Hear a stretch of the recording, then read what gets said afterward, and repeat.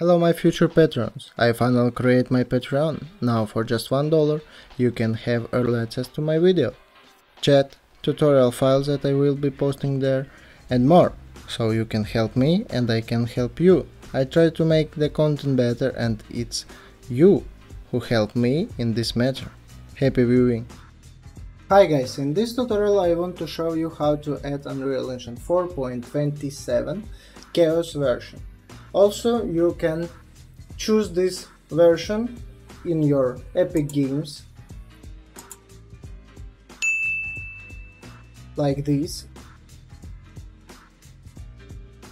And let's start. We need our link.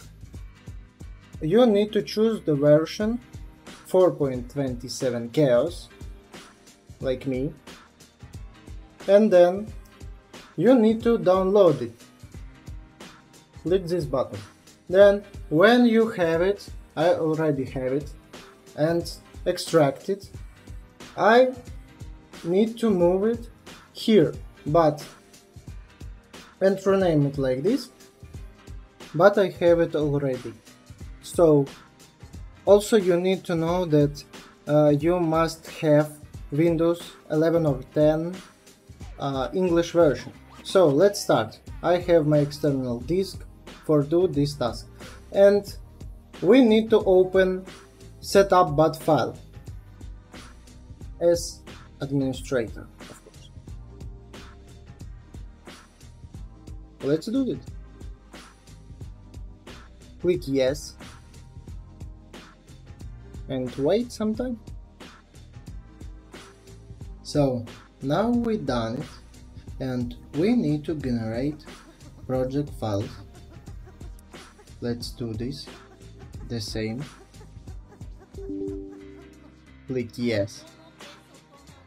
And we need to wait some time. It's very quickly.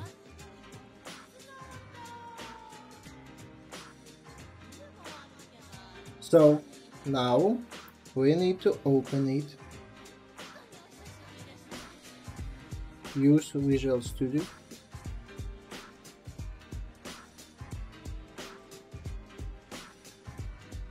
but before we open this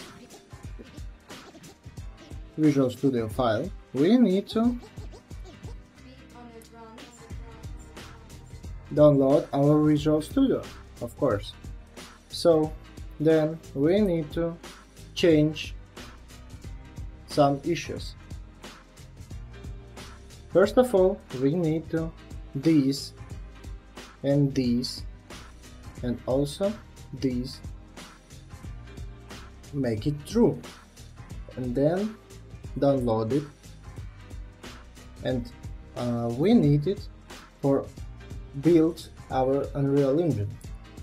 So we need to click here and click here. And we need to wait some time also I want to add something that you need to after doing a setup and generating you need to make a copy like in uh, your desktop uh, to do not waiting uh, again this time uh, do not losing the time. So that's all and Just wait. When we build our Unreal Engine, we need to open the folder, then Engine, Binaries, and Win64. Then we need to find UE4 editor.exe file, we need to open it and wait a couple of time then we need to close it. We need to make it the same with our Epic Games launcher and also here. Then we need to open it again and wait some time.